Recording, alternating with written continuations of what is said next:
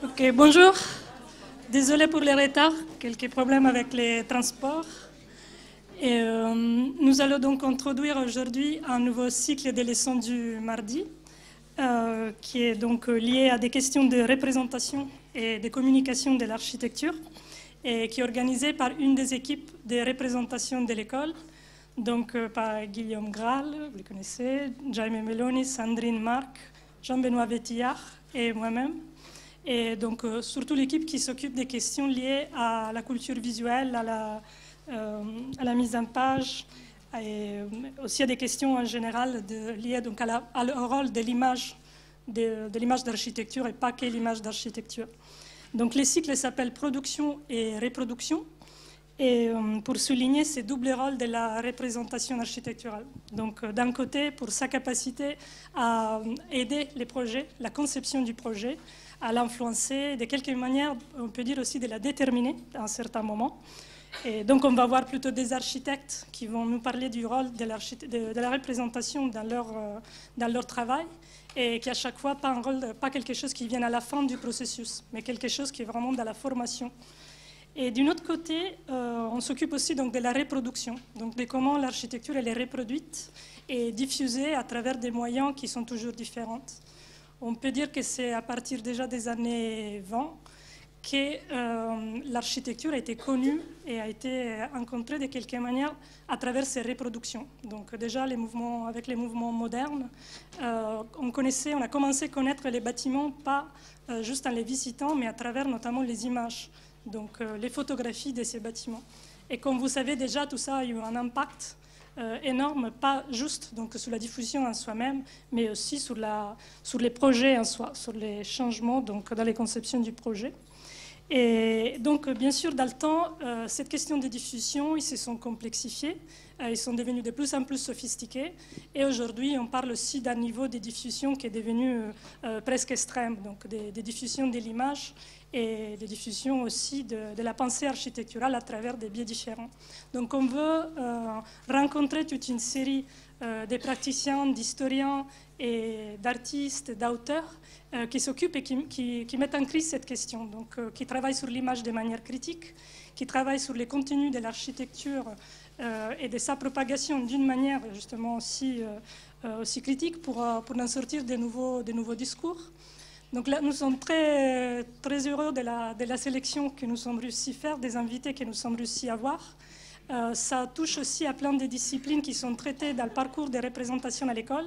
Euh, donc on va voir aussi des photographes, on va voir des illustrateurs, euh, des dessinateurs, des personnes qui travaillent donc, avec l'archi, mais aussi qui prennent des contenus d'archi et qui les réutilisent dans leur, dans leur travail. Et on se pose la question de comment ils les font interagir, comment ces mondes ils interagissent entre eux.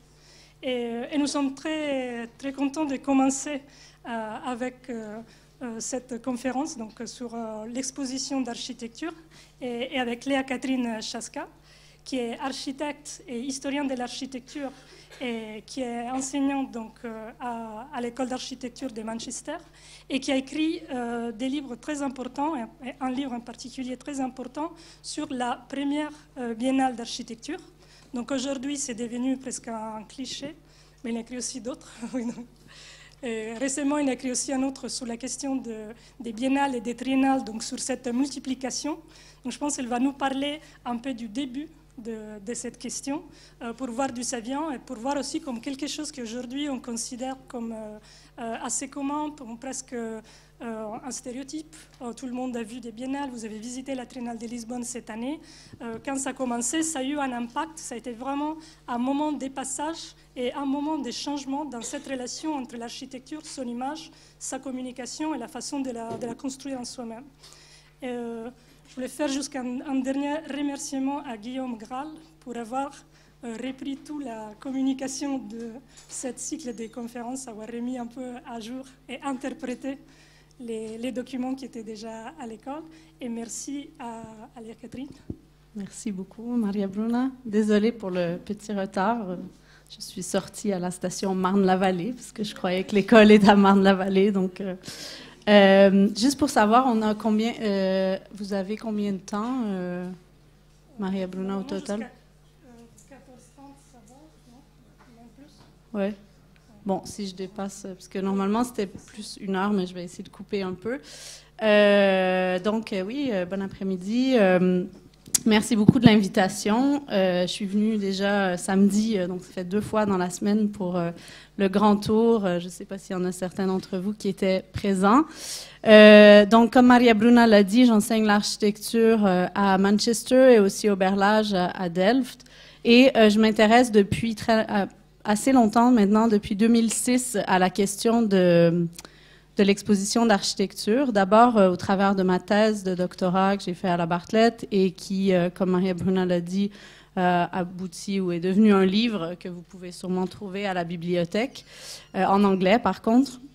Et ensuite, avec un petit projet aussi parallèle sur les expositions d'architecture au Centre Pompidou, euh, où j'ai regardé plutôt le début des les expositions qui se sont faites au Centre de création industrielle dans les années 70 à 90, et puis euh, à travers une conférence qu'on a organisée aussi, euh, une grande conférence sur les expositions d'architecture en 2014 au Centre Pompidou, que je crois vous pouvez sûrement trouver en ligne. Et finalement, plus récemment, je me suis intéressée à la question des biennales et des triennales d'architecture contemporaine, à la multiplication en fait des biennales et des triennales d'architecture, et j'ai fait un livre dont je vais vous parler à la fin de, la communication aujourd'hui. Donc, comment exposer l'architecture? C'est la question à laquelle on s'intéresse aujourd'hui. Avant que je commence, parce que je vais parler quand même pas que, mais beaucoup de la Biennale de Venise, combien d'entre vous sont déjà allés à la Biennale d'architecture de Venise, ou à la Biennale de Venise tout court? Ah oui, quand même. Donc, je dirais la moitié peut-être. Un peu moins que la moitié. donc, euh, vous saurez un peu de quoi je parle. Donc, euh, comment exposer l'architecture? C'est évidemment une question, euh, j'ai envie de dire une question sans réponse ou une question aux multiples réponses. Une question à laquelle beaucoup de gens se sont intéressés, surtout dans les 10 ou 15 dernières années. Donc, il y a un certain nombre de, disons, de points euh, de base qu'on peut qu'on peut énumérer. Donc, par exemple, l'idée qu'on peut on peut présenter l'architecture que ou surtout en fait au moyen de simulacres. Hein. donc, c'est pas l'architecture elle-même, parce qu'évidemment, c'est difficile de faire entrer un bâtiment dans un musée ou dans une galerie.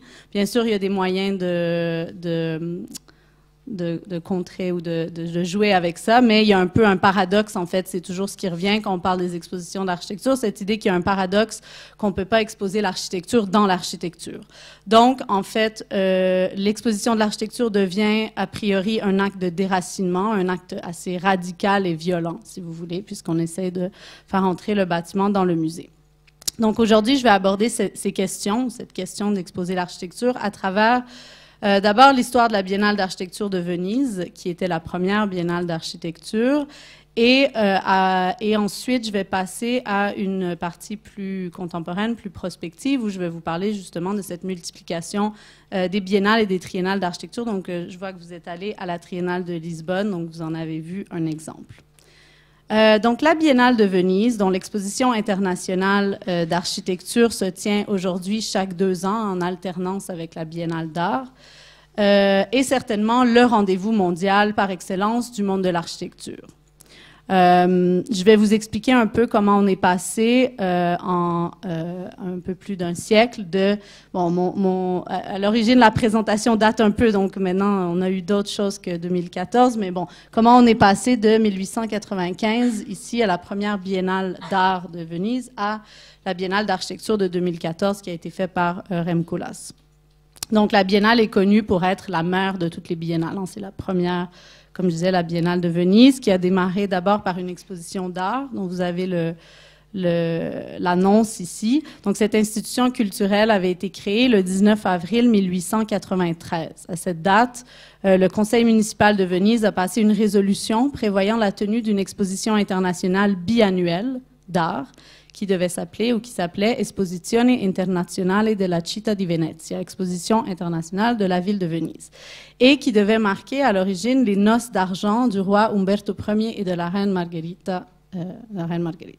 Donc, le premier but de cette exposition, c'était de faire venir des artistes étrangers à Venise sur invitation.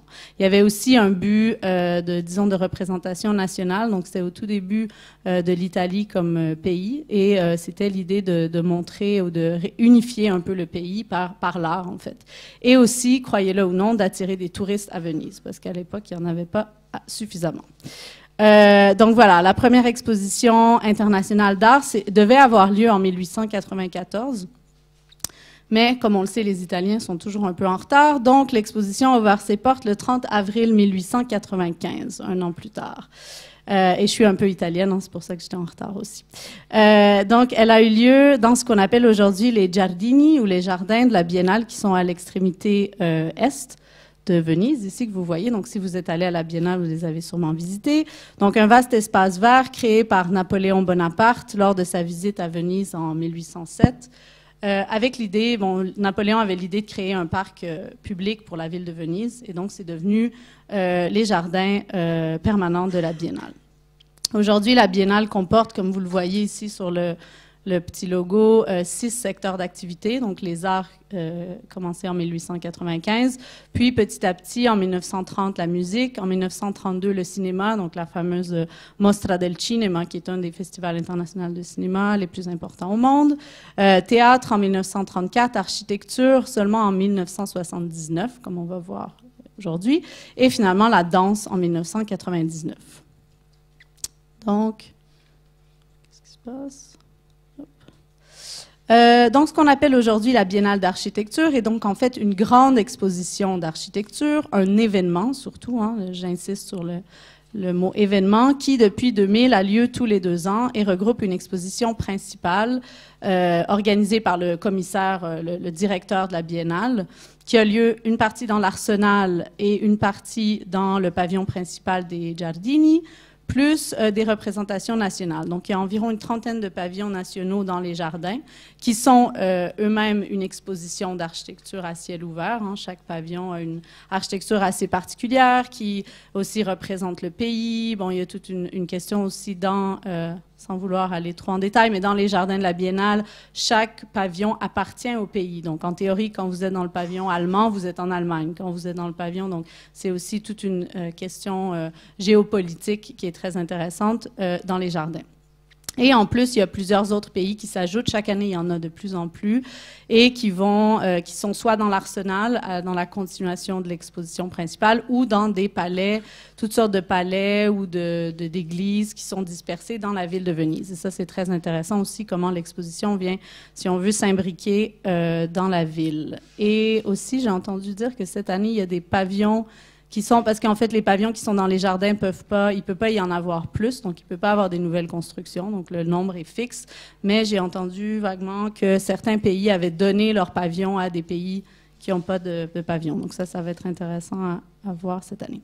Donc, euh, juste avant que je, que je commence avec la partie historique, euh, donc, comme je disais, dans cette communica communication, je vais vous raconter l'histoire récente de la Biennale d'architecture depuis sa création à la fin des années 70 et euh, en vous expliquant quelles ont été les tensions disciplinaires qui ont été euh, à l'origine de l'idée, disons, d'exposer l'architecture à la fin des années 70 en Italie.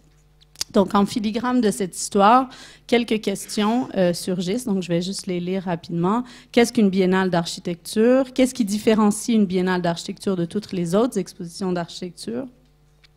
Est-ce qu'une biennale d'architecture se doit d'être informative, réflexive, productive, rétrospective ou euh, historique? Doit-elle être un laboratoire d'idées ou l'occasion de propositions expérimentales? À qui s'adresse une biennale d'architecture et est-ce qu'une biennale d'architecture doit agir sur la ville dans laquelle elle s'insère. Donc, euh, on se transporte maintenant à Milan. Euh, avant d'aller à Venise, on va aller à Milan euh, sans risque d'attraper le coronavirus. Donc ici à Milan, donc une autre institution culturelle, une cousine un peu de la Biennale de Venise, c'est la Triennale de Milan. Donc la Triennale de Milan avait démarré déjà dans les années euh, au début des années 20, puis d'abord dans la ville de Monza, puis s'est déplacé euh, à Milan au début des années 30, avec une périodicité aux trois ans. Donc c'est pour ça qu'on l'appelle hein, une triennale, bien évidemment. Et euh, dans les années 40, 50, 60, euh, la Triennale de Milan a présenté des grandes expositions de design et d'architecture. Donc, ce n'était pas que l'architecture, c'est aussi le design, mais euh, l'architecture y occupait une place importante. Donc, euh, lors de la pré préparation de la Triennale de 1968, donc là, on est en 1968, euh, il y a eu des débats. Il y a eu un gros débat, entre autres, entre les deux personnes que vous voyez ici, euh, l'architecte Aldo Rossi, qui est euh, ici, et l'architecte Giancarlo De Carlo. donc, les débats ont lieu entre donc la, la triennale précédente, se, se, se termine en 1964. Euh, triennale qui avait été organisée sous la direction de l'architecte Vittorio Gregotti, qu'on va revoir euh, plus tard. Et il y avait eu un grand débat parce qu'il y avait eu beaucoup de critiques. On critiquait beaucoup cette triennale pour avoir, euh, pour avoir été trop abstraite, que les gens ne comprenaient pas très bien. Et donc, on a un peu repensé entre, 65, entre 1965 et 1967. Il y a eu toute une série de conférences, de débats, de congrès dont j'ai trouvé certaines traces dans les archives. Et où il y avait entre autres ce débat donc entre, euh, disons, euh, deux voix très polarisées, euh, presque deux gardes, comme une, une, vieille garde et une nouvelle garde, deux écoles de pensée. Donc entre Aldo Rossi, qui représente plutôt la nouvelle ou la jeune, jeune génération, donc qui était né quand même 12, 13 ans avant Giancarlo De Carlo, et Giancarlo De Carlo, autre architecte important, qui représentait une autre une autre façon de penser, si on veut. Donc le débat, c'était entre euh, exactement comment exposer l'architecture. Deux attitudes euh, complètement différentes. Donc d'une part, une attitude, disons, euh, avec la figure d'Aldo Rossi. Donc Aldo Rossi qui proposait plutôt d'exposer l'architecture avec, si je veux simplifier, je vais dire, exposer l'architecture avec les outils de l'architecte. Donc exposer vraiment les projets d'architecture comme l'architecture comme une discipline autonome et euh, utiliser donc les instruments propres à la communication de l'architecture, donc le dessin, la maquette, euh, etc. Et d'autre part, il y avait la position beaucoup plus théorique de euh, Giancarlo De Carlo, beaucoup plus conceptuelle, disons, qui voulait, lui, plutôt mettre de l'ordre dans les activités humaines en établissant des systèmes de relations euh, et des besoins aux moyens d'installation pluridisciplinaires. Donc lui, il disait, euh, Giancarlo De Carlo, on ne va pas exposer des plans, des maquettes et tout ça, on va plutôt faire des, des installations immersives, des choses qui parlent de, euh, ou qui utilisent un peu l'architecture pour comprendre le monde, si on veut. Euh, donc, c'est aussi, il faut se rappeler, vous le savez peut-être, c'est à la même période, c'est exactement à la période où euh, Aldo Rossi écrit son livre L'architecture de la ville ou L'architectura della città, qui est publié en 1966. Donc, je vous disais, ces discussions ont lieu entre 65 et 67. Donc, lui, ce qu'il voulait, Rossi, c'était vraiment faire une grande exposition sur la ville pour un peu euh, montrer les, théories qu'il y avait dans son livre. Et d'une autre, autre D'autre part, Giancarlo De Carlo, lui, est une figure importante de Team 10. Peut-être vous avez euh, déjà vu dans vos cours, donc de Team 10. Donc, il s'intéresse beaucoup plus aux théories des relations, systèmes structuraux. Donc, quand on, sait ces deux choses-là, on comprend aussi bien les, deux euh, positions, disons. Donc, c'est vraiment projet versus euh, installation, si on veut simplifier. Donc finalement, en 68, c'est Giancarlo De Carlo qui gagne d'abord, mais vous allez voir que Rossi va prendre sa revanche euh, après. Donc, euh, c'est Giancarlo De Carlo qui organise la 14e triennale de Milan, qui devait s'ouvrir euh, le 30 mai 1968 et euh, sous le thème de Il grande numero, le grand nombre. Donc c'était euh, un thème ou un titre qui faisait référence à une sorte d'anxiété, d'anxiété euh, dans la population liée à la perte d'individualité, à la naissance de la globalisation. Donc lui, il voulait vraiment se poser des questions. il voulait que les architectes se, se, posent des questions sur les problèmes de la société dans son rapport à la production, la communication et l'organisation du territoire. Euh, donc, le grand nombre faisait aussi euh, référence aux recherches menées au milieu des années 60 sur l'urbanisation rapide. Hein. C'est une période de l'après-guerre, donc d'urbanisation rapide, de mobilité collective, de, c'est le boom économique, etc. Donc, tous ces, ces thèmes-là étaient euh, pris dans l'exposition. Euh, et en fait, je vous montre juste deux exemples ici. Par exemple, euh, la partie, euh, la représentation de l'Autriche, Austriennale, était faite par l'architecte autrichien Hans Hollein. et c'était donc l'Autriche ne voulait pas utiliser l'espace comme un lieu de présentation de la production nationale, donc c'était pas vraiment pour présenter des architectures autrichiennes, mais bien faire une installation qui montrait donc l'effet de la production de masse sur la perception de l'espace.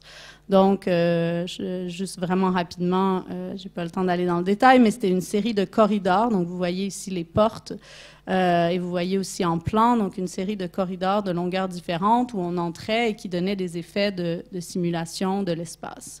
Et il y avait aussi des, lunettes qu'on mettait, enfin vous voyez l'image ici en bas. Et un autre exemple, euh, l'architecte euh, japonais Arata Isosaki avait fait euh, une installation qui s'appelle Electric Labyrinth, qui était aussi un espace très immersif, un espace qui résultait de la collaboration avec un photographe et aussi un compositeur de musique. Donc il y avait de la musique dans dans cette installation et qui faisait référence au bombardement d'Hiroshima et de Nagasaki. Donc l'ensemble du projet portait euh, aussi sur l'idée de ville, l'idée de ruine. Donc, vous voyez que c'est beaucoup plus des réflexions sur euh, la société, finalement. Euh, par contre, la triennale, comme vous le savez peut-être, a été prise d'assaut par des manifestants qui ont occupé l'exposition pendant dix jours, dès, dès, le départ, dès l'ouverture en fait, et qui, qui faisaient non pas une critique directe de cette exposition, mais une critique de la société bourgeoise, en, associant finalement la triennale à cette, à cette euh, société. Euh, Giancarlo De Carlo, c'est euh, donc il y a la fameuse très, photo très connue ici de Giancarlo De Carlo qui s'est adressé directement aux manifestants. donc après un bref échange avec eux, il a demandé au président de la Triennale d'ouvrir les portes à la foule. Donc la foule est entrée dans l'expo et a occupé l'exposition pendant dix jours. Ce qui fait que l'exposition n'a jamais vraiment ouvert, n'a jamais vraiment eu lieu en fait. Et euh, Giancarlo De Carlo avait déclaré, euh, je, cite, On peut dire avec amertume que la nécessité d'organiser une exposition sur le grand nombre a été démontrée de manière implacable par ceux qui l'ont détruite. Donc, euh, en fait, ça allait assez bien avec le thème euh, même de l'exposition. Et euh, si jamais vous lisez l'italien, il y a un livre très intéressant là-dessus de Paola Nicolini qui a fait une recherche très exhaustive que sur cette exposition et où elle montre vraiment que l'exposition devient un événement parce qu'elle est occupée et qu'elle devient aussi un projet à part entière et le projet incluant l'occupation, si on veut, par les manifestants. Donc, comme je disais, euh, Aldo Rossi euh, claqué la porte en 1968. Il est parti, mais en fait, il avait pas non plus euh, dit son dernier mot. Donc, il revient en 1973 pour montrer justement l'envers de la, de la médaille ou sa façon de, de, de voir euh, comment on devait exposer l'architecture. Donc, en 73, Aldo Rossi devient le commissaire de la Triennale de Milan. Euh, qu'il organise sous le thème Architectura Città, donc architecture ville. Et ici, vous voyez l'ensemble des participants. Cette photo aussi est devenue euh, très connue, très emblématique. Si jamais il y en a parmi vous qui ont vu, ça fait déjà un petit moment, euh, au Centre Pompidou, l'exposition sur la Tendenza, qui était en 2000 euh, je sais plus, 2015 peut-être, euh, il y avait euh, justement cette photo qui était reproduite en très grand sur le mur. Et donc, c'est tous les participants avec Aldo Rossi au milieu devant une, une peinture très très connu que Aldo Rossi avait fait euh, produire exprès pour l'exposition qui s'appelle La Città Analoga et qui était fait par son ami, le peintre architecte Arduino Cantafora, qui met euh, en scène une, euh, perspective d'une ville où on a fait une espèce de collage de, monuments importants de l'histoire de l'architecture. Vous pouvez sûrement en reconnaître quelques-uns. Et c'était pour parler justement, un peu comme dans son livre, Aldo Rossi, de l'idée de mémoire collective dans la ville, de mémoire individuelle et, du fait que la ville est construite vraiment de mémoire individuelle et collective. Donc, euh, l'exposition d'Aldo Rossi, comme vous pouvez le voir, elle est très différente. Et c'est une exposition où on parle d'une série de villes, donc Berlin, Rome, Barcelone, Venise, etc. Et euh, où on analyse les villes vraiment avec, euh, comme je disais, les outils, les outils de l'architecte, hein, donc des grands plans, des, maquettes, etc. Donc, je, passe rapidement là-dessus, mais c'est juste vraiment pour vous montrer les deux, les deux façons de voir. Alors, on va revenir à Venise. Donc, en 1968, au même moment, euh, il y avait aussi, la Biennale de Venise avait aussi été prise d'assaut par les manifestants. Ça, j'en parle plus en détail dans mon livre, si jamais vous, avez, vous êtes intéressé aussi comment les euh, la Biennale de Venise avait été euh, un peu occupée comme étant une institution bourgeoise. Bon, on voulait euh, réformer la Biennale, en fait. Et après, donc, cette édition de 1968, il y a eu à Venise toute une question sur est-ce qu'il fallait réformer cette institution ou l'arrêter, en fait, ou la fermer. donc, il y a eu aussi toutes sortes de débats. Et euh, on a pris une série de mesures, comme par exemple, on a aboli les prix, les lions, les lions d'or, les lions d'argent, qui sont revenus par la suite, hein, puisqu'aujourd'hui, vous savez, peut-être, il y a des, des, prix à la biennale et c'est revenu euh, dans les années 80. On a suspendu le festival de cinéma jusqu'aux années 80 et euh, on a aussi, euh, surtout important, on a aboli le bureau de vente. Donc il y avait à l'époque à la Biennale d'art un bureau où on pouvait acheter les œuvres d'art. Donc aujourd'hui, ça, n'existe plus ni pour l'art ni pour l'architecture, mais on sait quand même que ces expositions sont énormément, euh, comment dire, mercantiles, ou euh, c'est vraiment le marché de l'art ou même maintenant de l'architecture qui est derrière ces expositions même si le, bureau n'existe plus. Donc, euh, en 1973, il y a une loi qui a été passée donc pour changer l'institution et pour nommer des directeurs pour les différents euh, secteurs de la biennale. En 74, et vous allez voir que c'est important pour l'histoire. Donc, il y a trois directeurs qui sont nommés pour le secteur cinéma Giacomo Gambetti, euh, au centre Luca Ronconi pour le théâtre et euh, le plus important, donc le monsieur chauve ici, c'est euh, Vittorio Gregotti qui avait été nommé comme directeur de la Biennale d'art. Or, Vittorio Gregotti, c'est un architecte qui était assez proche du monde de l'art dans les années, fin des années 60, début des années 70. Il était très ami avec, par exemple, un monsieur qui s'appelle Leo Castelli, qui avait une galerie d'art très importante. Et donc, c'est pour ça qu'on l'avait choisi. Mais en même temps, c'est un choix un peu surprenant, euh, puisqu'il est architecte. Et donc, euh, ce qu'il fait, donc on le retrouve ici en 1975 euh, sur euh, les Zattere à Venise, en train de réfléchir à je sais pas trop quoi. Et euh, ce qu'il fait, lui, c'est qu'il dit, bon, d'accord, j'accepte, je veux bien faire directeur de la Biennale d'art, mais je vais donner deux conditions. Donc, la première condition, c'est que l'exposition soit organisée autour d'un thème. Donc, avant euh, les années, la fin des années 70, à la, Biennale, il n'y avait pas de thème, c'était qu'une exposition d'art. Donc, il dit on va organiser autour d'un thème central. Et le thème pour la, la, première exposition que je vais organiser, ça va être euh, ambiente, qui veut dire, euh, qui se traduit en français par environnement mais environnement, euh, non pas dans le sens écologie, mais dans le sens euh, l'environnement autour de nous, l'espace autour de nous. Donc, un thème très architectural, finalement. Et donc, ça, c'était sa première condition. Et sa deuxième condition, c'était euh, on doit intégrer l'architecture à la Biennale de Venise. Donc, on va faire une biennale d'art et d'architecture. C'est donc vraiment à partir de ce moment-là, à partir du milieu des années 70, que l'architecture va entrer à la Biennale de Venise.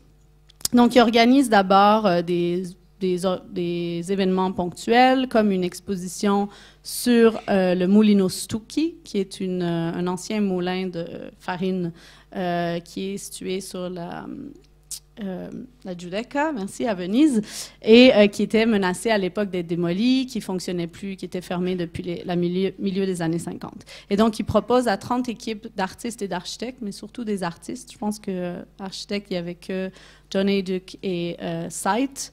Et euh, il leur propose de, de, vraiment faire des projets sur le Moulino, mais vraiment des projets artistiques. C'est-à-dire c'était des projets assez euh, fous, pas nécessairement réalistes.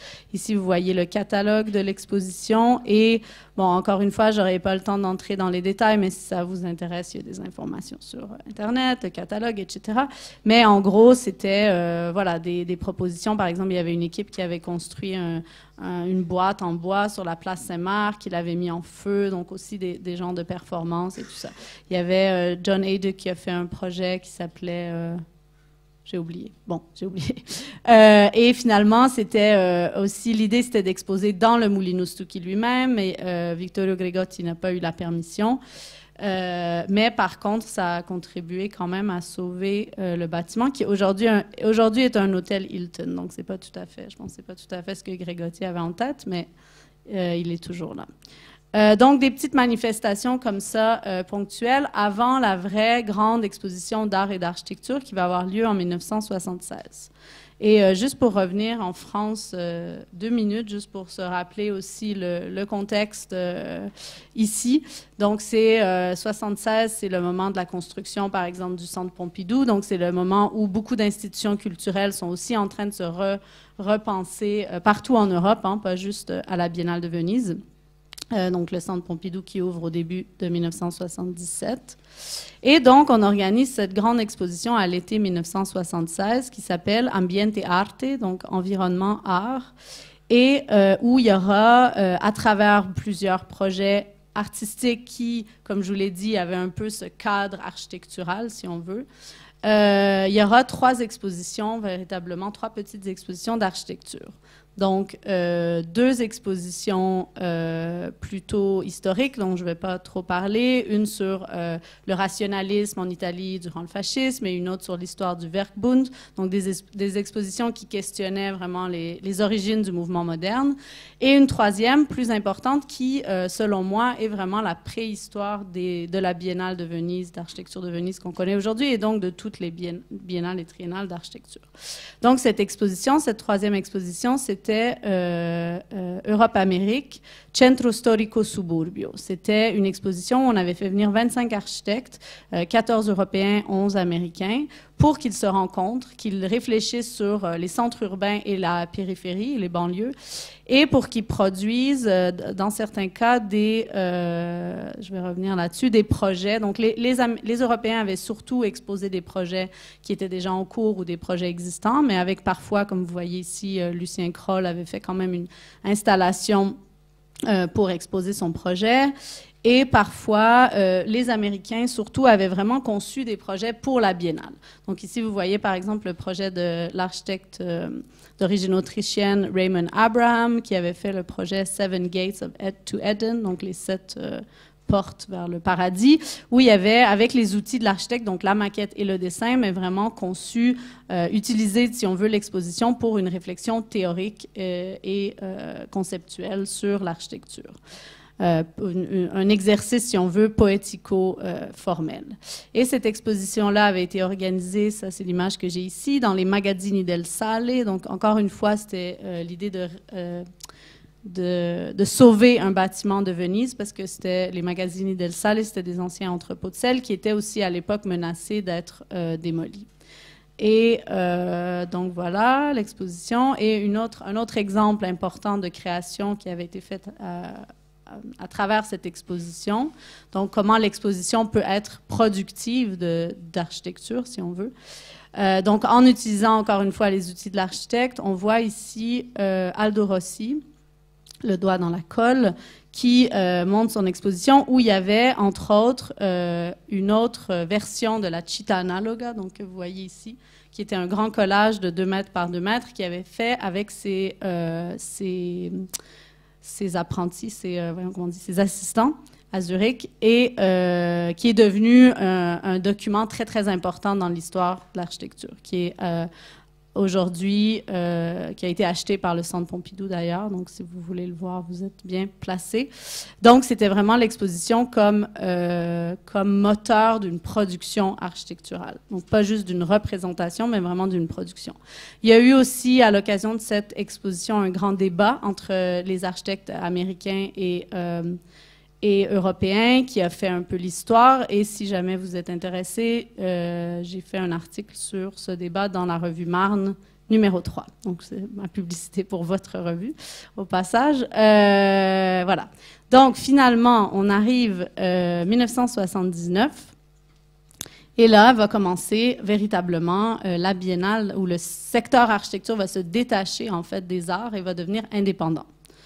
Euh, on nomme euh, monsieur qui s'appelle Paolo Portoghesi, qui est un architecte romain, historien et surtout spécialiste du baroque. Et on le nomme à la tête, donc, du, de, après Grégotti, il devient le directeur du service architecture. Et euh, il fait d'abord une chose, il s'associe avec le secteur théâtre. Donc, il décide de faire une première manifestation en 79 avec le secteur théâtre. Et euh, il organise une exposition qui s'appelle Venise et l'espace scénique et qui euh, est à la fois attachée à la réactivation du carnaval de Venise. Donc le carnaval de Venise avait été, même si c'est une tradition très très longue, avait arrêté pendant plusieurs centaines d'années et on a repris à la fin des années 70 encore une fois pour euh, stimuler le tourisme à Venise. Et donc vous voyez qu'il y a vraiment une dimension événementielle et ça, ça va être assez important. Hein. Aujourd'hui, les biennales d'architecture et les triennales d'architecture sont vraiment basées sur cette idée de l'architecture ou de l'exposition comme événement. Et une des choses marquantes de cette idée donc de l'architecture comme événement, c'est euh, peut-être vous en avez déjà entendu parler que euh, Paolo Portoghesi avait fait, avait demandé toujours le même Aldo Rossi, donc qui était très ami avec Aldo Rossi, lui avait demandé de construire un théâtre flottant qui serait un peu euh, pour cette expo théâtre et architecture et qui serait un peu en même temps une espèce d'annonce de la biennale d'architecture qui allait ouvrir quelques mois plus tard. Donc c'est un théâtre flottant qui permet euh, vraiment de, de parler d'architecture comme événement et d'exposer la ville de Venise elle-même parce que le théâtre flottait euh, s'est déplacé à différents endroits, était euh, euh, amarré pendant longtemps à la Punta de la Dogana, comme vous pouvez voir ici. Et donc, c'est vraiment l'idée qu'on expose non pas un simulacre de l'architecture, mais l'architecture lui-même, hein, le projet lui-même et euh, que c'est la ville en fait qui est mise en scène ou qui est exposée à travers ce théâtre, à travers toutes les vues aussi qui, bon, le théâtre c'est une architecture éphémère, il n'existe plus, mais il circule à travers des, photos euh, qui sont devenues maintenant très euh, très connues, très emblématiques. Donc il y avait d'abord ce premier, cette première construction, et puis en 1980 la première exposition internationale d'architecture qui a lieu dans l'arsenal de Venise. Donc, si vous êtes allé euh, à la Biennale, vous l'avez vu, cet euh, bâtiment incroyable qui a été aussi redécouvert ou qui a été réouvert au public, ou plutôt ouvert au public euh, à l'occasion de cette première Biennale d'architecture. Donc, ici, il y a encore une autre une autre couche, si on veut, à l'exposition de l'architecture. Hein, c'est l'exposition du, bâtiment, du, contenant lui-même. et chaque fois que je vais à la Biennale, je me dis que finalement, c'est c'est le truc le plus intéressant à voir, c'est l'arsenal lui-même, plutôt que les projets qu'on y euh, expose. Mais bon. Euh, donc, ce geste curatorial très fort aussi de décider de faire une exposition là. Euh, pour la petite histoire, Paolo Portoghesi avait demandé à l'époque au ministre de la Défense, qui était propriétaire parce que l'arsenal était un dépôt d'armes euh, de la Première Guerre mondiale. Et donc, il avait demandé au ministère de la Défense la permission d'utiliser l'arsenal. Et le ministère de la Défense lui a répondu oui, d'accord, mais euh, sachez que ça va être seulement une fois et que ça se reproduira plus. Et bon, 20, 40 euh, ans plus tard, on est toujours là.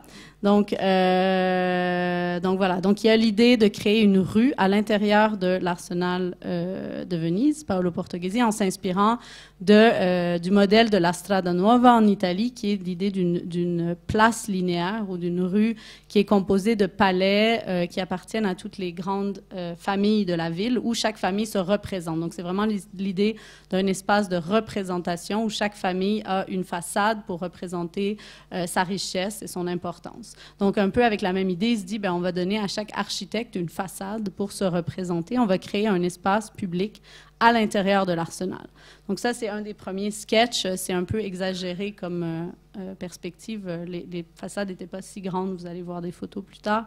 Mais euh, c'était l'idée, justement, voilà, d'avoir 10, façades d'une part, 10 de l'autre et de créer une rue où on allait inviter les plus grands architectes de l'époque qui adhéraient à cette nouvelle tendance de l'architecture, entre guillemets, postmoderne.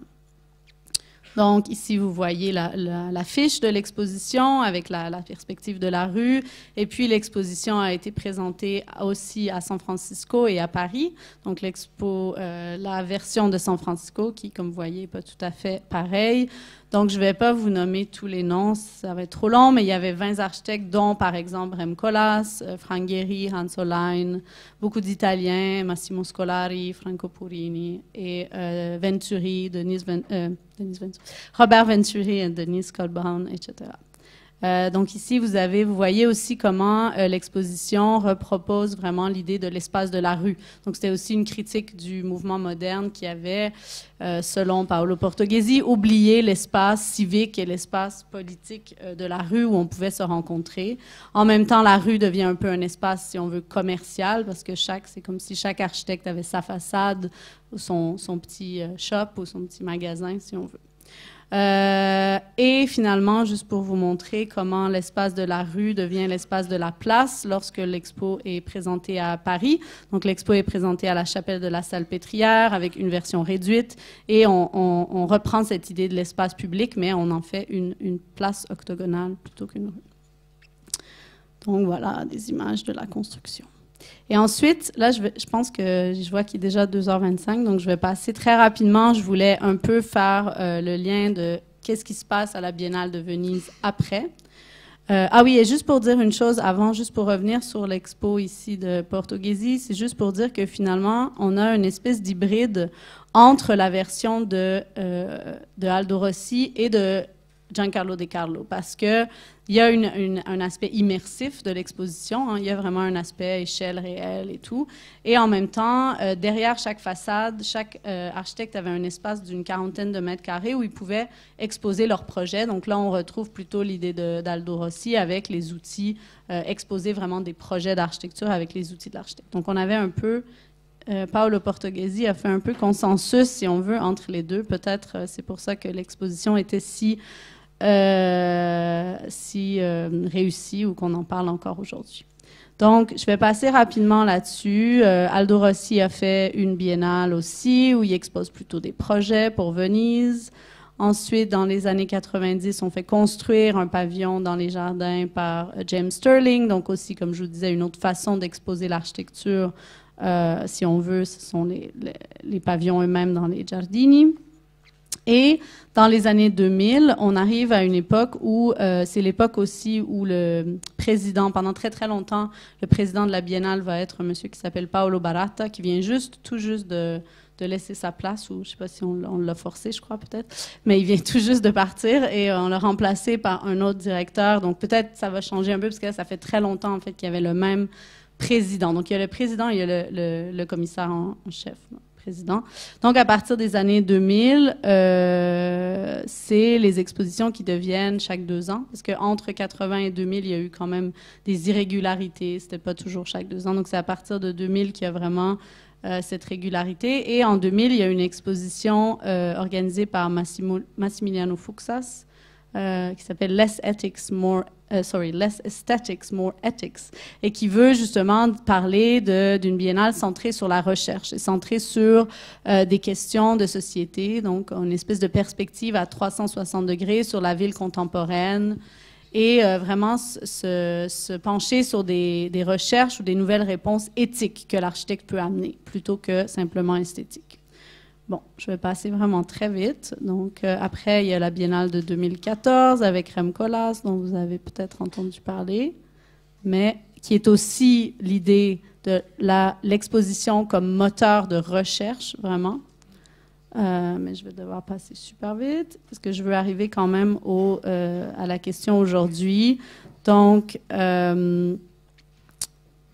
L'exposition avait une partie sur la condition contemporaine de l'Italie, euh, avec 40 euh, installations par des jeunes architectes, et j'en ai fait une moi-même, mais dont j'aurai pas le temps de vous parler. Je vais juste vous montrer les images très vite, euh, où je montrais justement la recherche et en même temps une installation, dans l'idée que finalement, quand on va à la Biennale d'architecture, il y a une énorme quantité de choses qui sont exposées. Et donc, il y a une espèce de règle des, des trois temps. Donc, euh, qu'il faut une, une, une, installation qui soit à la fois, euh, qui puisse être vue en trois secondes, donc quelque chose de très, euh, très euh, oui, immersif, photogénique, quelque chose qui se... Donc, on avait produit ici une installation avec des petites figurines sur des, euh, des fils de, pêche. Et puis une idée, l'idée que l'exposition doit aussi pouvoir être visitée en trois minutes, donc avec un, un certain regard sur euh, du matériel et tout, et qu'elle puisse aussi être visitée en 30 minutes si quelqu'un a le temps euh, de vraiment vouloir approfondir euh, une, une installation en particulier. Donc c'est un peu comme ça quand vous allez à la biennale, hein, il y a tout plein de choses et vous pouvez avoir l'envie peut-être de vous arrêter euh, plus longtemps. Donc, c'était un meuble avec des, des, tiroirs, avec du matériel, etc. Et donc, j'arrive à la partie contemporaine. Donc, en 2016, euh, je me suis dit, c'est quand même intéressant de se pencher aussi sur euh, qu'est-ce qui se passe aujourd'hui, parce qu'il y a quand même une multiplication de ces euh, biennales et triennales d'architecture. Après, il y a eu le même phénomène dans le milieu des arts. Hein. Il y a eu une, multiplication des biennales d'art. Les gens, en art se sont intéressés déjà à cette question depuis plusieurs années, mais en architecture, il n'y avait pas tellement eu de réflexion. Euh, donc, qu'est-ce que représentent ces expositions aussi par rapport à d'autres expositions plus, qui sont dans des institutions muséales ou des institutions plus traditionnelles?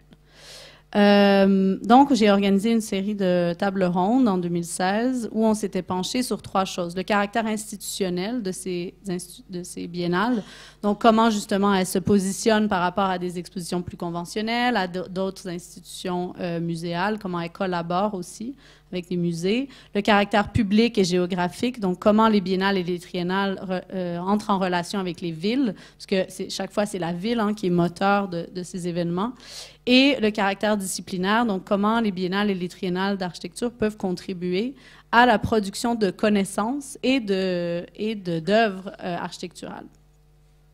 Donc ça c'était un peu les trois questions. Et puis ensuite, euh, trois ans plus tard, donc 2019, j'ai publié donc une série de conversations euh, sur avec des commissaires de biennale et de triennale euh, dans ce petit livre ici. Et donc, vous avez ici la table des matières. Donc, je ne vais pas vous lire toutes les... Ça va être trop long, mais les six, c'était six entretiens, plus une introduction, justement, qui retrace un peu l'historique de ces événements. Et pourquoi 2019? Parce qu'en 2019, il y avait quand même une coïncidence assez incroyable de, tous ces événements. Hein. Comme ça, certaines sont aux trois ans, certaines sont aux deux ans, ça varie.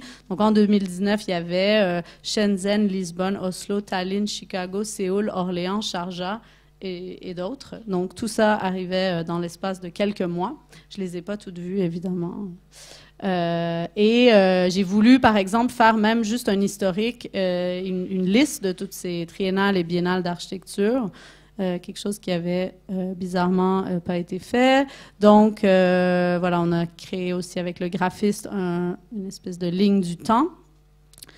Et euh, pour, euh, voilà, pour arriver à se questionner sur qu'est-ce que c'est que ces, ces, expositions, donc qui, euh, qui reviennent chaque deux ans ou chaque trois ans, et qui sont souvent, ou trop souvent, considérées comme un, un symptôme exagéré de la culture événementielle et spectaculaire, résultant de certaines transformations euh, à l'ère du euh, capitalisme tardif. Donc cette idée aussi hein, que les villes veulent se servir des biennales et des triennales comme presque un genre de Bilbao effect, donc de, capitaliser euh, sur ces événements pour accroître leur capital culturel. Donc ici, vous avez une image de la Biennale de Chicago. Donc les biennales et les triennales, à l'origine, étaient liées à l'idée de tendance. Hein. Comme je vous avais expliqué à Venise, c'était l'idée de montrer l'art international, etc. Donc il y avait un moment chaque deux ans où on montrait ce qui se passait. Mais bien sûr, euh, donc ils ont été inventés, disons, ces événements comme des grands baromètres, montrant au monde la meilleure production des deux dernières années ou des trois dernières années.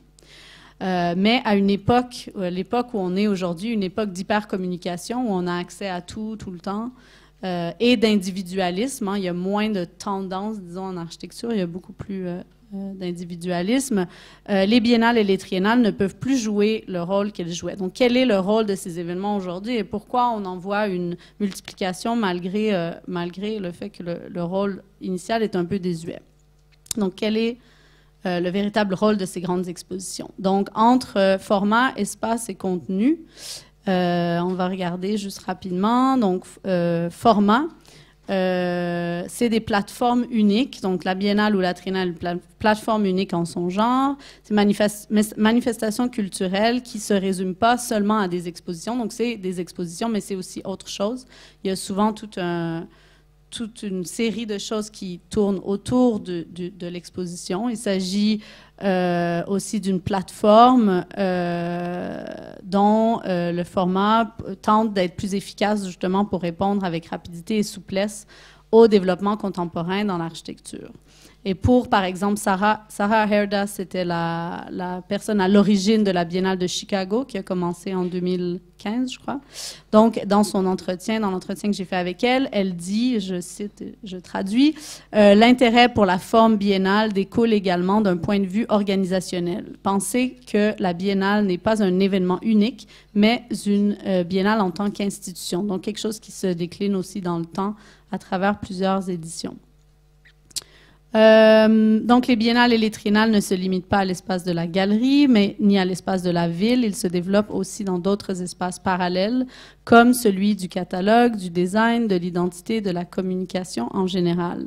Il se développe également, et ça je crois que c'est important, dans l'espace euh, Internet grâce aux millions d'images qui sont diffusées. Donc parfois, je suis sûre que vous avez cette impression que vous n'êtes pas allé à une biennale ou une triennale, mais vous avez l'impression d'y être allé parce que vous avez vu tellement d'images circuler sur Instagram, Facebook, Twitter, et, etc.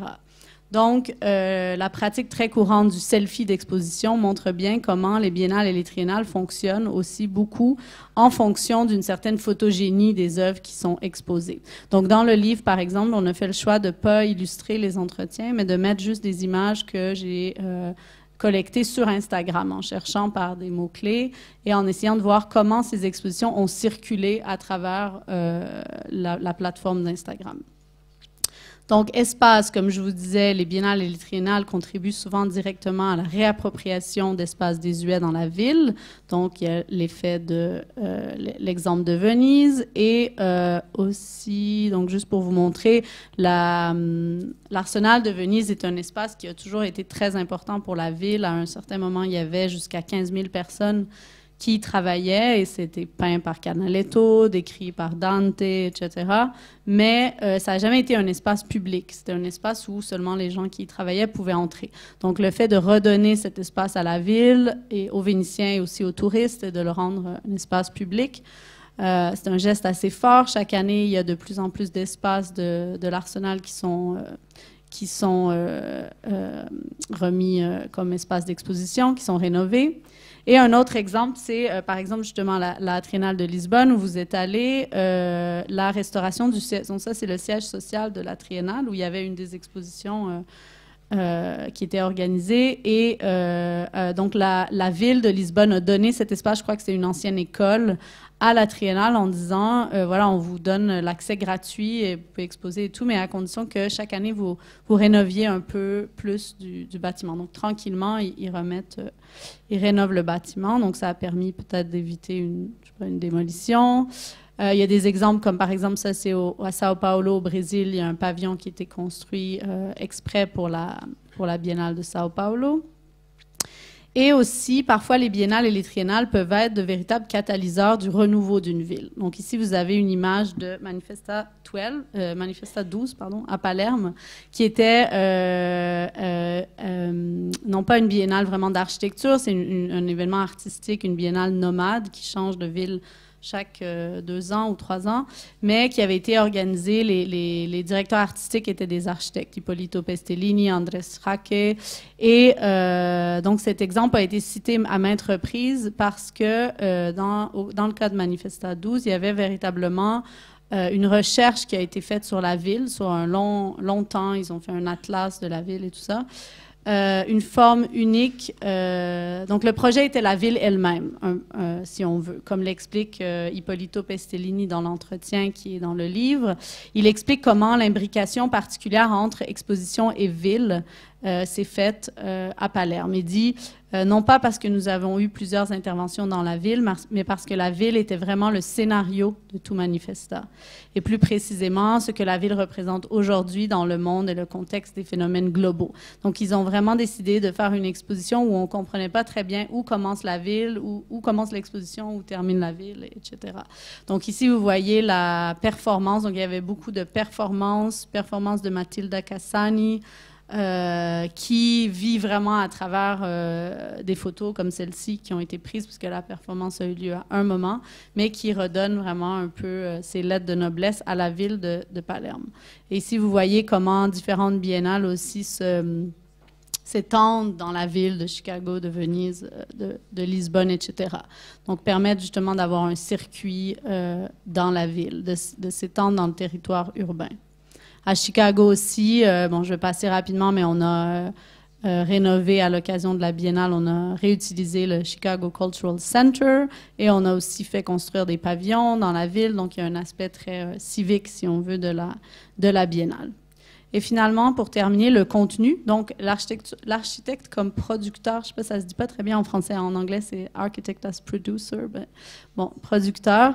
Euh, donc, l'idée, c'est qu'est-ce que ces biennales, justement, produisent? Qu'est-ce que, quel rôle elles ont dans la, la discipline de l'architecture aujourd'hui? Donc, avec la multiplication des expositions, biennale ou triennale d'art et de design, nous avons également assisté à l'émergence d'une nouvelle forme d'acteur, le commissaire d'exposition. Donc, il y a maintenant presque une institutionnalisation de la figure du commissaire euh, d'exposition. Euh, qui va euh, générer ou produire ou parfois faire des commandes à des architectes pour des œuvres qui sont faites que pour l'exposition. Donc, il ne s'agit plus de représenter des projets d'architecture, mais vraiment de produire quelque chose de nouveau pour l'exposition. Ici, vous avez aussi, parfois, c'est produire du discours hein, ou produire du débat. Donc, vous avez ici l'exemple du pavillon belge à la dernière Biennale de Venise, euh, Eurotopie, euh, donc qui était un peu sur l'idée de l'Europe, mais qui était surtout finalement une espèce d'amphithéâtre qui avait été créé dans le pavillon et euh, dans lequel il s'est déroulé tout au long de la Biennale une série de débats et de discussions. Donc, c'est vraiment l'idée de créer du, du discours.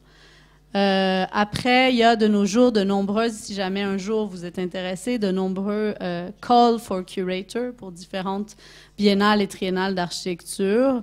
Euh, donc, une idée de, pour promouvoir finalement des, des, commissaires émergents ou des jeunes qui auraient des idées euh, donc, un peu sur l'idée d'un concours d'architecture, hein, c'est euh, complètement euh, ouvert à tout le monde. Et au cours des dernières années, il y a eu l'idée de l'exposition comme outil épistémologique, permettant de faire des recherches vraiment sur des ou repousser les limites de l'architecture ou repenser l'architecture dans son rapport au social, à l'anthropologique, au politique, etc. donc, c'est l'héritage aussi d'acteurs. Donc, il y a plusieurs euh, il y a plusieurs institutions ou euh, euh, programmes d'études maintenant autour de l'idée de l'exposition. Donc, par exemple, à Columbia, il y a un master en Critical, Curatorial and Conceptual Practices. le Goldsmith à Londres aussi. Le Centre canadien d'architecture a des programmes de jeunes curators, etc. Donc, il y a beaucoup plus une institutionnalisation de cette figure. Donc, par exemple, un groupe de cinq jeunes euh, espagnols, mais vivant à New York, avait été choisi à l'occasion de la triennale. J'ai vraiment presque fini. Hein, à l'occasion de la triennale d'Oslo en 2016. Et euh, bon, ils étaient à peu, bon, ils avaient tous fait le programme, à, presque tous fait le programme à Columbia, mais ils étaient à peu près inconnus euh, comme ça. Ils sont juste arrivés avec une très bonne idée, qui était d'explorer le thème de ce qu'ils ont appelé l'after belonging ou le l'après appartenance. Donc cette idée que euh, on vit dans un monde où on n'a plus le même rapport aux, choses, à la fois à nos objets et à la fois à l'endroit où on vit. Donc cette espèce d'idée de nomadisme. Euh, voilà. Donc, euh, cette idée d'after belonging, ils en ont fait une, triennale de, recherche en examinant euh, de près les objets, les espaces et les territoires pour une condition changeante d'appartenance ou des régimes globaux de circulation. donc voilà, ils ont proposé leur truc et une des choses intéressantes, bon, il y avait plusieurs choses dans cette triennale, mais euh, une des œuvres intéressantes, je trouve aussi pour parler d'une production architecturale. Bon, c'était fait par un artiste qui s'appelle Jonas Stahl, mais quand même une œuvre très architecturale. Donc, euh, Jonas Stahl avait euh, décidé de, donc il a reçu une commande de ses, de ses commissaires de la Triennale pour euh, faire une ambassade du Nouveau Monde, une ambassade apatride pour un pays donc, qui n'existe pas, qui est euh, euh, pour la communauté kurde de la région autonome de Rojava dans le nord de la, Syrie. Donc c'est une communauté qui se considère comme une communauté, mais qui n'est pas un pays. Et donc il avait construit, c'est très beau parce qu'il avait construit cette ambassade temporaire, cette architecture éphémère dans l'espace, le grand hall du de l'hôtel de ville d'Oslo, qui lui-même est une architecture assez incroyable. Et donc, ils ont réussi à avoir accès à, un espace très politique, finalement, de l'hôtel de ville et à créer cette, euh, espèce de construction où ils ont euh, organisé des débats avec la communauté kurde euh, d'Oslo, donc toute la communauté. Beaucoup de gens qui ne sont pas architectes du tout sont venus pour débattre justement de de leur pays, de leur territoire. Donc, c'est un exemple de qu'est-ce que l'exposition d'architecture peut produire. Ici, je vais passer sur ça. Et juste pour aller à ma conclusion.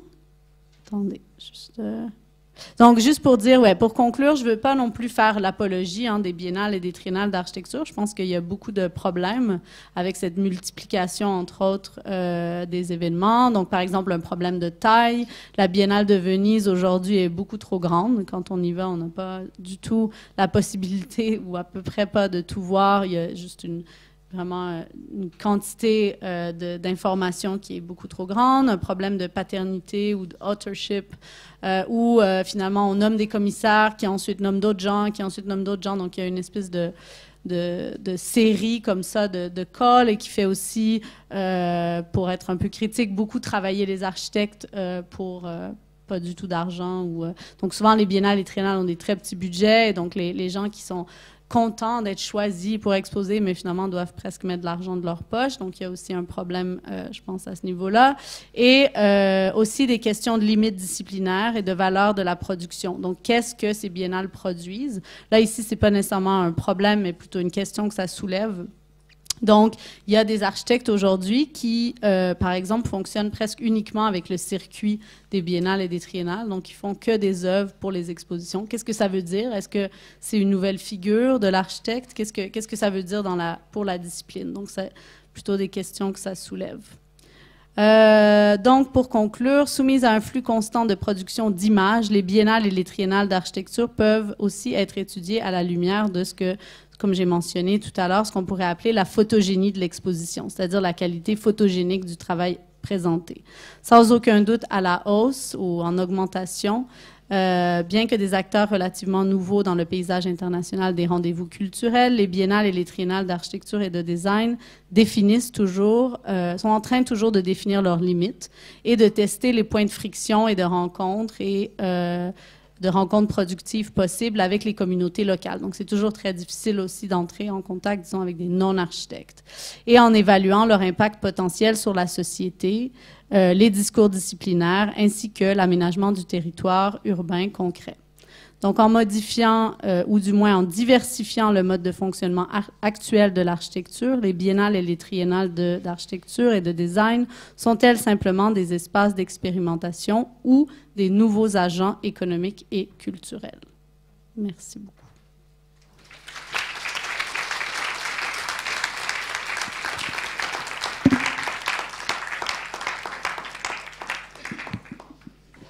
merci Léa Catherine. Euh, c'est tard par rapport euh, au temps, non, c'est pas grave. Les étudiants de troisième année, par exemple, ils sont avec nous, donc il euh, n'y a pas de souci. Mais non, mais s'il y a quelqu'un qui veut quand même poser des questions, ça, peut se faire. Je sais c'est toujours compliqué, mais peut-être. Hein? Non.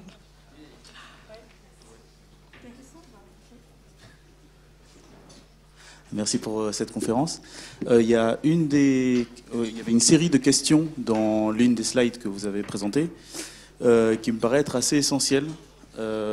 C'était à qui s'adresse C'est une, pas, pas les, mais une biennale d'architecture. Je ne sais pas si à travers votre exploration, vous avez pu y répondre. C'est toujours une question compliquée, parce que je pense qu'il y a toujours une volonté de s'adresser au grand public, si on veut.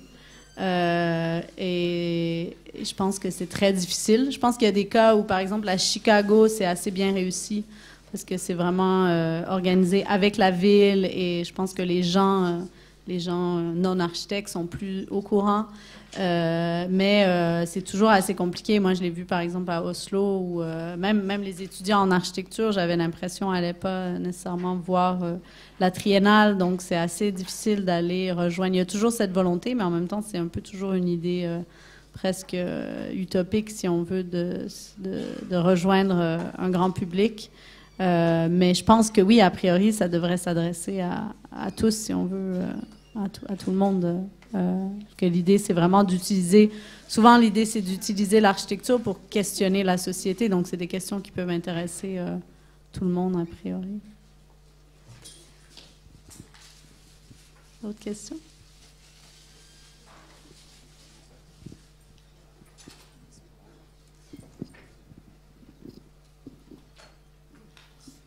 Bonjour, merci pour votre intervention.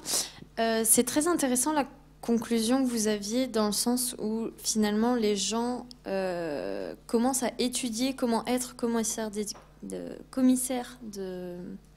d'exposition. Mais du coup, justement, est-ce que créer des filières comme ça, ça va pas encourager justement à continuer ça? Ou est-ce qu'il y a des, attendus, par exemple, euh, il faut être architecte pour pouvoir faire ses études, ça va servir à d'autres choses? Je pense pas que c'est une mauvaise chose dans la, dans la mesure où, euh, c'est, euh, comme je dis encore une fois, c'est vraiment euh, l'idée de, je pense dans ces programmes-là, ce qu'on, bon, je l'ai pas fait moi-même, mais ce qu'on enseigne, c'est pas tellement comment faire une, comment, je sais pas moi, placer un cadre sur un mur, ou, mais c'est vraiment comment réfléchir comme un architecte, avec les outils d'un architecte, comment réfléchir à des questions, toutes sortes de questions. Euh, et arriver à produire, euh, produire de la connaissance, produire des œuvres, produire des, choses. Je pense que je pense que c'est pas une mauvaise chose. Je pense que c'est ça montre que la, discipline est en transformation et en mutation. Euh, donc c'est vraiment quelque chose qui est important. Le, programme, par exemple, à Columbia, je pense que c'est quand même un programme qui est qui est hyper important. Ça a commencé, je crois, en 2008 ou quelque chose comme ça. Donc, c'est. Non, en fait, je crois qu'ils viennent de fêter leurs 10 ans. Donc, ça doit être 2008-2009. Et, euh, il y a vraiment beaucoup, beaucoup de gens qui, aujourd'hui, ont des rôles assez importants qui sont sortis de ces programmes. Donc, ils font après toutes sortes de choses, pas juste euh, commissaire d'exposition, mais euh, c'est plus apprendre une façon de penser, je pense que. Mais, ouais.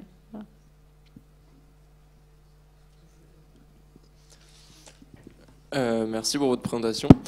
Euh, vous parliez donc de cette distinction entre le, on va dire, le modèle prôné par Giancarlo De Carlo et Aldo Rossi. Aujourd'hui, vous pensez qu'il y a, on est toujours sur cette dichotomie ou il y a d'autres modèles qui sont encore en, enfin, d'autres architectes et d'autres commissaires d'exposition qui cherchent encore à créer des nouvelles manières d'exposer l'architecture et de, enfin oui, c'est ça, d'exposer l'architecture. Hmm, je pense que c'est quand même euh, une, division, si on veut, de base qui reste. Mais euh, par exemple, dans la vision d'Aldo Rossi, on, euh, de, pardon, de Giancarlo De Carlo, on est allé beaucoup plus loin justement, parce que c'est plus simplement de créer des, des, installations qui vont questionner des, des, des, questions sociales, mais vraiment de, par exemple, parfois même nommer, comme par exemple cet exemple que j'ai donné du After Belonging, je trouve qui est très intéressant. Bon, après, je trouve que l'exposition à laquelle ils sont arrivés à la fin était un peu décevante. Ce qui était même plus intéressant, c'était le, nommer, en fait, le, nommer la chose et dire, voilà, on est dans cette nouvelle condition où le rapport d'appartenance aux choses et aux lieux change. Et donc, euh, là, je, trouve qu'on va un peu, même au-delà de, la vision ou de, la, façon de voir de, Giancarlo De Carlo, où on prend vraiment... Euh, l'exposition pour euh, même euh, cadrer des nouvelles choses, nommer des choses. mais bon, je pense que la division, elle reste. Il y a des exemples, comme je l'ai montré, où les deux peuvent coexister, mais il y a quand même une, une division assez fondamentale qui reste.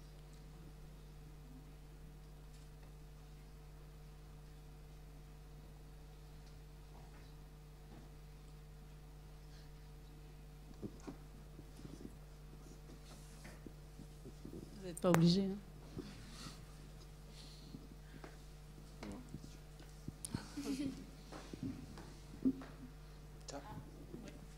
On a un élève euh, modèle ici au premier.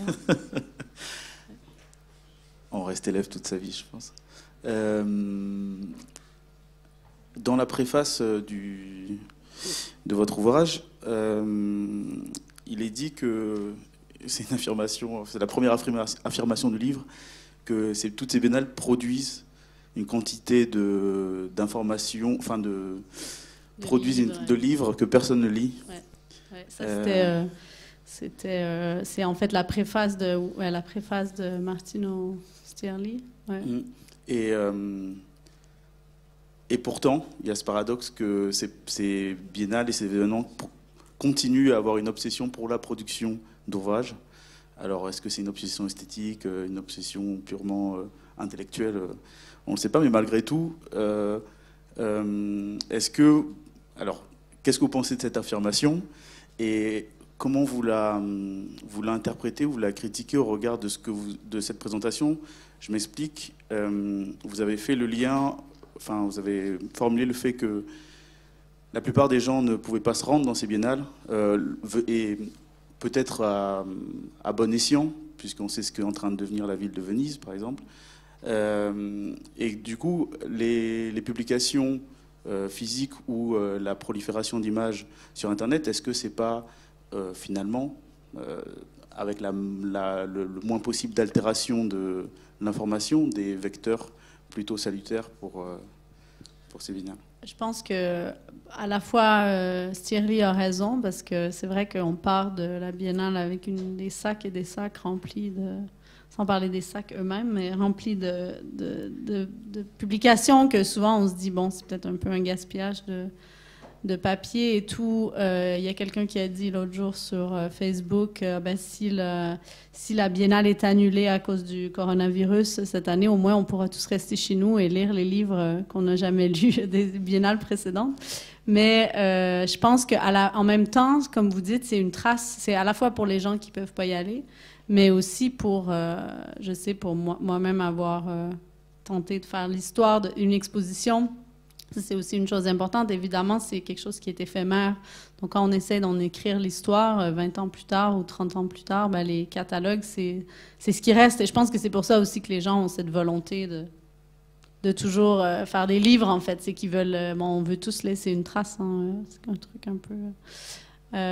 donc, donc les gens veulent qu'il y ait quelque chose qui reste. Et puis en même temps, bon, on se dit c'est quand même utile pour retracer l'histoire après.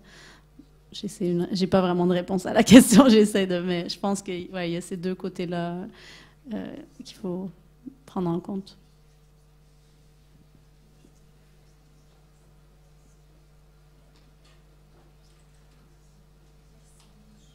Merci beaucoup.